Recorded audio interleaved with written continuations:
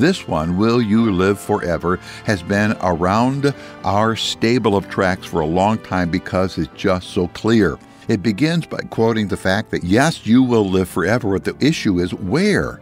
Where will it be in heaven or not?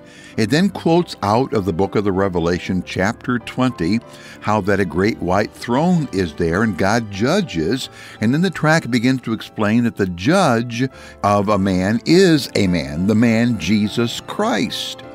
And it goes on to say in this gospel tract that if Christ had not been risen from the dead, we have no hope of eternal life.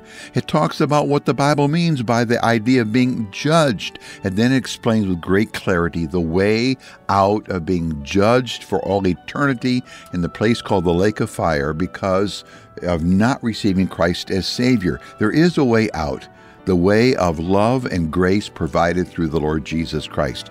This clear, simple gospel tract, Will You Live Forever, has been powerfully used over the decades. Let me send it to you.